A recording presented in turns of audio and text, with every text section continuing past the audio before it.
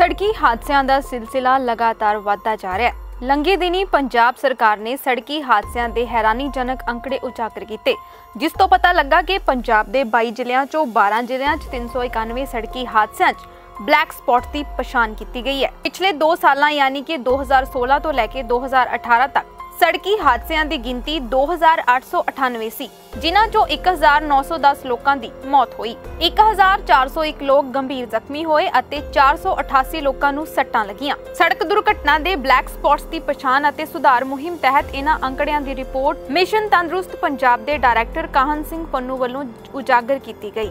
ਇਸ ਬਾਰੇ ਜਾਣਕਾਰੀ ਦਿੰਦਿਆਂ ਪੰਨੂ ਨੇ ਦੱਸਿਆ ਕਿ ਪੰਜਾਬ 'ਚ ਸੜਕੀ ਹਾਦਸਿਆਂ ਦੇ ਬਲੈਕ ਸਪੌਟਸ ਦੀ ਰਿਪੋਰਟ ਤੰਦਰੁਸਤ ਪੰਜਾਬ ਮੁਹਿੰਮ ਤਹਿਤ Punjab vision zero accident team ਨੇ ਪੰਜਾਬ ਪੁਲਿਸ ਦੇ ਟ੍ਰੈਫਿਕ ਵਿਭਾਗ ਨਾਲ ਮਿਲ ਕੇ ਤਿਆਰ ਕੀਤੀ ਹੈ। ਰਿਪੋਰਟ ਦੇ ਵਿੱਚ ਜ਼ਿਕਰ ਕੀਤਾ ਗਿਆ ਹੈ ਕਿ ਸੂਬੇ ਭਰ 'ਚ 12 ਜ਼ਿਲ੍ਹਿਆਂ 'ਚ ਐਕਸੀਡੈਂਟ ਦੇ ਬਲੈਕ ਸਪੌਟਸ ਦੀ ਪਛਾਣ ਕੀਤੀ ਗਈ ਹੈ। ਇਹਨਾਂ 'ਚੋਂ 256 ਬਲੈਕ ਸਪੌਟਸ ਪੰਜਾਬ ਦੇ ਕੌਮੀ ਰਾਜ ਮਾਰਗਾਂ ਤੇ 66% ਸਪੌਟਸ ਪੰਜਾਬ ਦੇ ਲੋਕ ਨਿਰਮਾਣ ਵਿਭਾਗ ਦੀਆਂ ਸੜਕਾਂ ਤੇ 42 ਸ਼ਹਿਰੀ ਸੜਕਾਂ ਤੇ ਅਤੇ 27 ਪਿੰਡੂ ਸੜਕਾਂ ਤੇ ਹਨ। ਪੰਨੂ ਨੇ ਰਿਪੋਰਟ ਬਾਰੇ ਜ਼ਿਕਰ ਕਰਦਿਆਂ ਅੱਗੇ ਇਹ ਵੀ ਦੱਸਿਆ ਕਿ ਮੋਹਾਲੀ ਜ਼ਿਲ੍ਹੇ 'ਚ ਸਭ ਤੋਂ ਵੱਧ ਬਲੈਕ ਸਪੌਟਸ ਦੀ ਪਛਾਣ ਕੀਤੀ ਗਈ ਹੈ।